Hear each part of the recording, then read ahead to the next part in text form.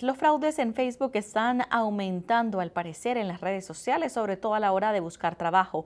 Aparentemente son personas que no viven en Estados Unidos, pues usan nombres extraños y las fotos de perfiles aparentan ser de otro continente. Aquí tenemos más información para que usted esté prevenido.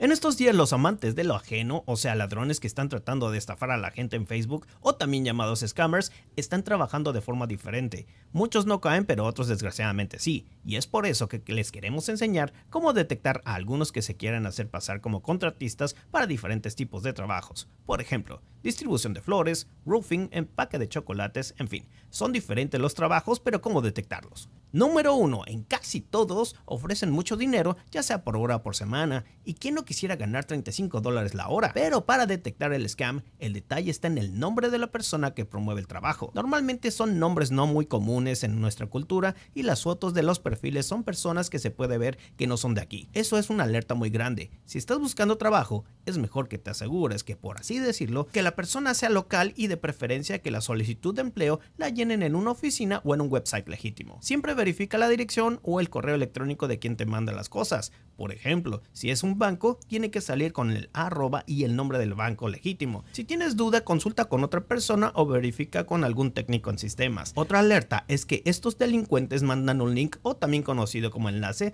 que te manda a llenar información personal. Aquí está el problema, cuando uno llena la información, pues estos ladrones la utilizan para hacer fraude. Desgraciadamente siguen operando aunque ya se han reportado varias veces y así que lo mejor es avisar a toda la gente que no caiga para que dejen de hacer este tipo de actividades.